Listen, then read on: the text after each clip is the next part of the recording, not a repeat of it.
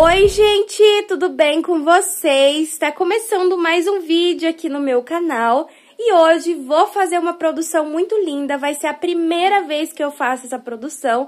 Tô muito animada pra fazer e mostrar aqui pra vocês. Hoje eu vou produzir o trilho de mesa folha, que é lá do canal Entre Linhas by Carmen. Eu quero mandar um beijo muito especial pra essa lindona aí que gravou a videoaula maravilhosa e eu vi que tem um monte de crocheteira fazendo também. E, gente, eu super indico pra vocês, viu? Eu nem fiz ainda, mas eu já indico vocês fazer essa videoaula, que ele é um trilho maravilhoso e, pelo que eu vi lá, ele é super econômico. Então, agora, fim de ano, vocês podem fazer uma produçãozinha, eu tenho certeza que vocês vão vender muito. Escolha cores lindas aí que vocês têm na casa de vocês e façam também, tá? Então, hoje eu vou fazer aqui e eu escolhi essas cores aqui, que eu vou mostrar um pouquinho pra vocês. Não sei se eu vou usar todas as cores que estão aqui, eu vou dar preferência primeiro pra utilizar as sobras, mas eu vou mostrar aqui pra vocês, tá? Aqui, gente, eu escolhi, ó, essa cor aqui que é o sereia, Olha só que linda que é essa cor. Ele tem um tom de rosa, azul e verde água. Pelo menos aqui olhando eu vejo essas cores, né? É uma cor muito linda, que vende muito bem também. É maravilhosa essa cor aqui, então eu vou estar tá utilizando. Vou fazer as flores catavento, né? E aí depois vou utilizar aqui o meu verdinho esse aqui é meu queridinho lá da fábrica do Barbante Pires. E essas duas sobrinhas também são da fábrica do Barbante Pires. Aqui, gente, é o Cru Fio 6 e esse daqui é o caramelo, eu conheço como caramelo, né? O fio 6. E eu quero tá é, utilizando essas sobras aqui. E talvez não dê, né, pra fazer o que eu quero. E aí, se caso faltar, gente, eu vou colocar essa cor aqui o nome dessa cor é caramelo escuro. Eu tenho ela há bastante tempo aqui em casa, ó, mas tem bastante no rolo ainda. Então, primeiramente, eu quero dar preferência aqui para as sobrinhas, como eu sempre faço aqui nos meus vídeos. E aí, caso não dê e eu precisar fazer um detalhe ou biquinho, aí eu utilizo esse daqui, tá? Então, o trabalho de hoje vai ser o trilho de mesa folha. E eu tenho certeza que vocês vão gostar muito aqui do vídeo de hoje. E vamos ver aí como que vai ficar nessas cores.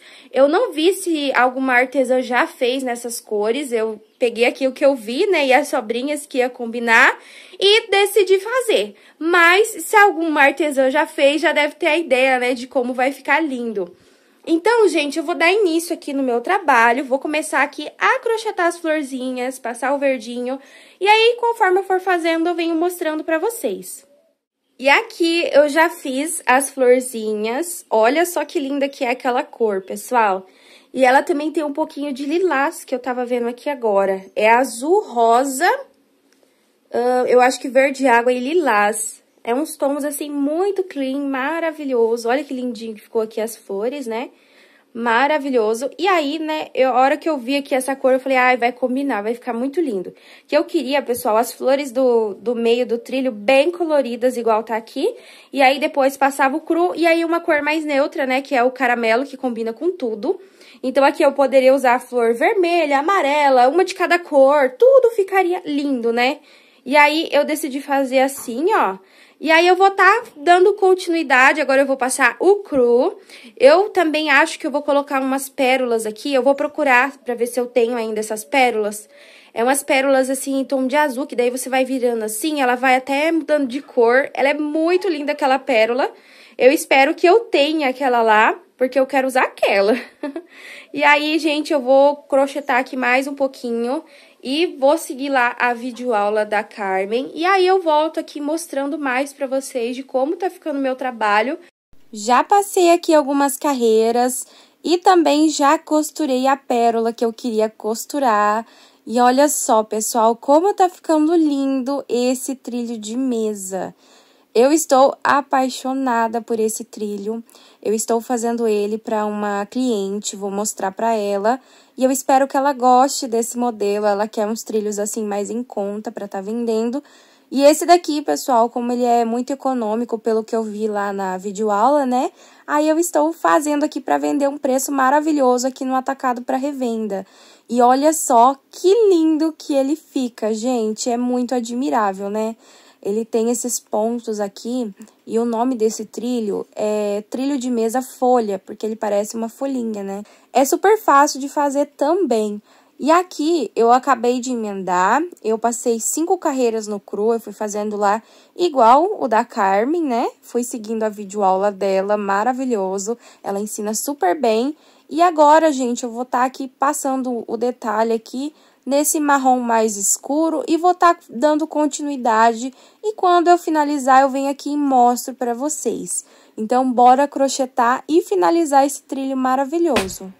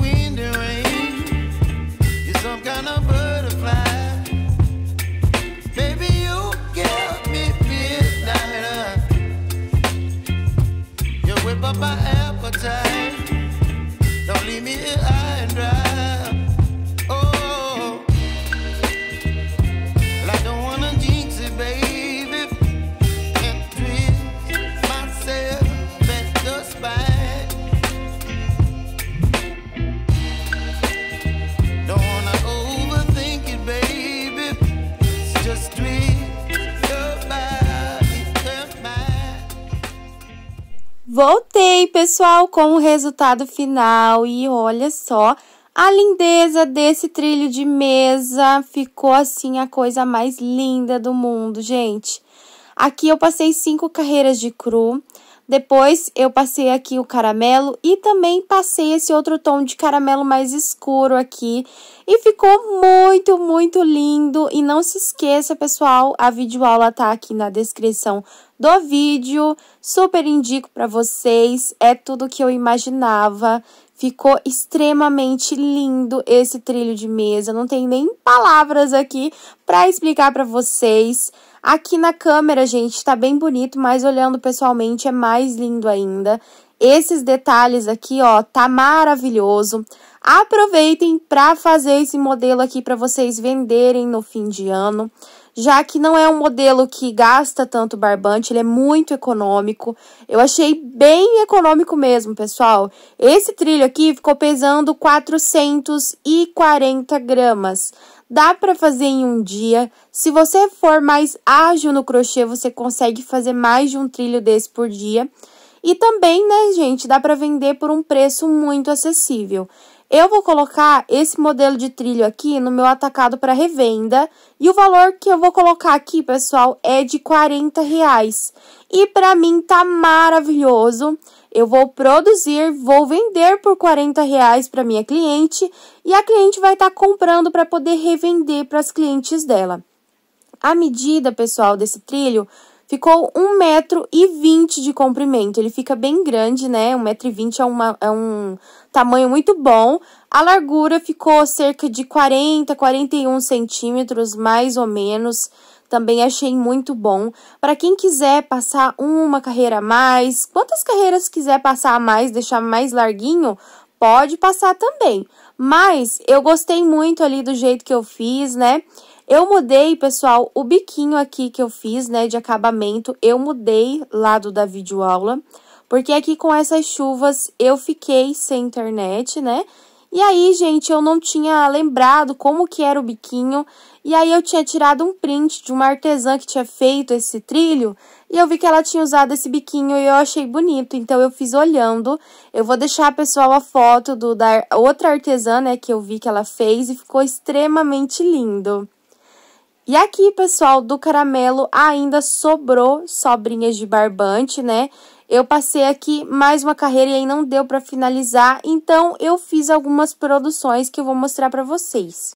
Eu peguei a pequena soprinha de caramelo que me sobrou, gente, e fui fazendo algumas bases.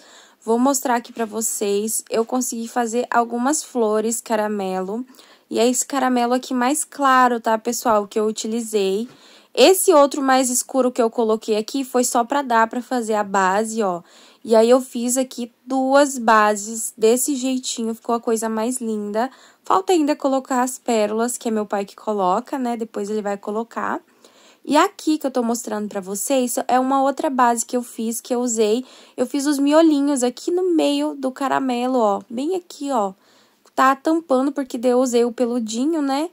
E aí, gente, deu pra fazer alguns miolinhos, porque tinha muito pouquinho, né? Aí eu fui fazendo. E aí eu coloquei o peludinho em volta e eu consegui formar aqui um jogo de banheiro, né? Na verdade, as bases para um jogo de banheiro, né, pessoal? Que foi ali uma base com três e duas bases com dois square. E aí ficou assim, ó. Eu fiz ele com peludinho, deu uma tampadinha ali no miolo, mas eu achei bonito, gente, ó. Ficou legal, né? Não ficou feio, achei bonito. E eu acredito, assim, que depois que eu fizer o jogo vai ficar muito lindo. E essas bases aqui em tons de marrom, eu achei super lindo. Mesmo que a flor aqui é tudo de uma cor só, gente, eu acho super lindo. E aí coloca um mescladinho de verde, né? Fica maravilhoso. Então, com aquele, aquela sobrinha eu consegui fazer tudo isso, aí eu gastei. Então, gente, foi isso, né? As sobrinhas que eu coloquei, eu consegui eliminar aqui, né? E eu quero falar uma coisa muito importante aqui para vocês sobre esse trilho que quando eu estava fazendo, eu contei para vocês que eu estava fazendo para uma cliente, só que eu não tinha avisado essa cliente. Ela me fez uns pedidos de trilho de mesa que era, que era mais assim elaborado, né? Que tinha mega rosa. E aí ela me pediu que se tivesse uns trilhos mais em conta, ela queria, porque seria melhor para ela vender, né? E aí, pessoal, quando eu vi esse trilho lá no canal da Carmen, eu pensei assim, eu vou fazer ele depois eu vou mostrar para minha cliente. E aí, gente, comecei aqui a crochetar, né? Finalizei e mandei aqui para minha cliente. E vocês não vão acreditar, gente. Ela achou muito bonito e ainda me encomendou mais desse trilho aqui. Então, é para vocês ver a possibilidade de um trilho desse, né? E também aqui, por estar tá vendendo no atacado para revenda, então é muito bom. É, eu vendo num preço mais acessível de 40 reais, mas, em compensação, gente, vem bastante encomenda, e eu mostrei apenas para essa cliente, eu acredito que se eu for mostrar para outras, vai entrando muitos pedidos que eu nem dou conta, né? Mas é isso, gente. Então a cliente gostou tanto que ela me pediu para poder fazer mais para ela. Então vocês vão ver umas produções muito lindas aqui desse trilho de mesa maravilhoso. E outra coisa, gente, que eu queria falar aqui para vocês. Se por acaso eu não vendesse esse trilho aqui no atacado para revenda, se eu fosse vender direto para cliente, o valor que eu venderia ele aqui na minha região seria uns 60 reais, 70 reais, mais ou menos esse valor, né? Que seria maravilhoso. E agora, para fim de ano, o pessoal gosta muito, né, de decorar a mesa, deixar bem linda. Então, se você tiver barbante aí, bora fazer. E se você estiver precisando comprar barbante, eu já indico para vocês a fábrica do Barbante Pires. Lá tem promoções direto, o preço do barbante é muito acessível, eles mandam para todo o Brasil. O contato tá aí na tela para vocês, e inclusive foi as sobrinhas deles que eu utilizei aqui, né? E é isso para vocês verem, gente. Dá para fazer muita coisa, né? Utilizando aquelas sobrinhas que eles vendem. Mas se você preferir, você também pode comprar aqueles cones que vêm de uma cor só, tá? É muito bom também e o preço é maravilhoso, então eu super indico aqui para vocês. E o vídeo de hoje foi esse, pessoal. Eu espero muito que vocês tenham gostado desse vídeo. Se vocês gostaram, deixa aqui nos comentários o que vocês acharam desse trilho, se vocês vão fazer trilho aí pro Natal.